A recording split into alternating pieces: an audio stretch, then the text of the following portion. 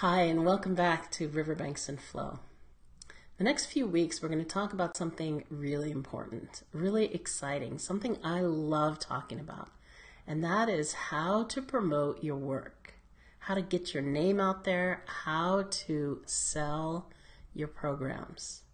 If you're having a challenge with this, or if you're worried about it for the future, um, hang in with me for the next few weeks because I really do love it and it's not as scary as you think it is. And one of the things we're going to be doing is kind of dissolving some of those funny beliefs that keep you holding back. And I've been working with women for a while on launching their programs, so I think I have an insight into a few of those things that are worrying you. Now, one of the things I want to talk about today that's really important is your email list, a list of clients the number of people that you regularly talk to. Everybody hears this idea that um, you need a big old email, email list before you launch. And I don't teach it that way. I teach that you create a beautiful container.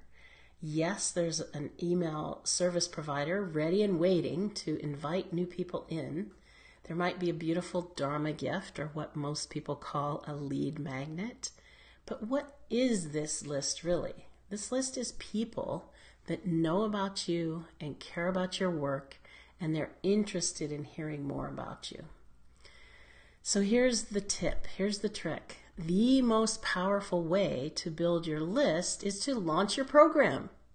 So don't get it backwards. You don't need a list before you launch create this beautiful jewel, this radiant thing, this thing that's, you know, deep in your heart. And you'll be sending out, you know, rays of desire and, and energy and radiance everywhere, and people will come.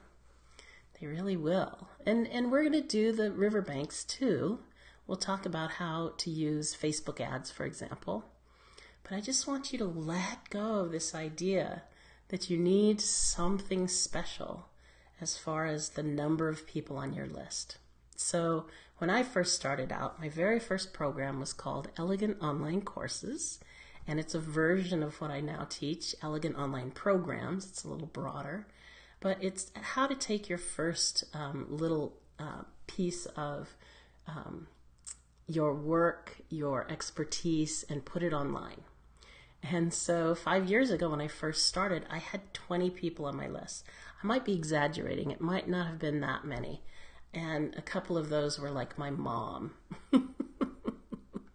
so, I just created um, a beautiful event, which is what we do when we uh, market. We don't do a lot of salesy stuff. We just create an event.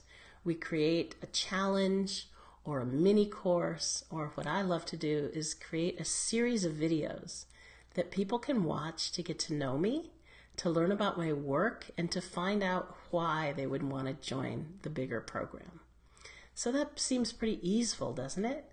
And I'll tell you, by the end of that first year, when I launched a couple of times, I had 400 people on my list, and it was a strong list. It was people who knew what I was doing and signed up just for that purpose. So I don't think it grew much over the next couple of years, and I made $40,000 just selling to that list. Now I have more people on my list now, but it's just grown naturally. I don't I don't fuss over the numbers. I don't work super hard to grow the numbers. What I do do is I keep creating programs that people want and I keep getting my name out there and my work out there. So I want you to take a deep breath and realize you don't have to build a big old list and you don't have to be pushy and salesy. We're going to talk about more about what you can do so that those things can just fall away next time. And let's talk about Facebook ads and what it is to sell in a feminine way next time I'll talk about both of those things. But in the meantime, have a great week and just breathe easy, knowing that you don't have to build a big old list. And don't forget, if you want to get notified next time I publish one of these videos, put your name and email in below.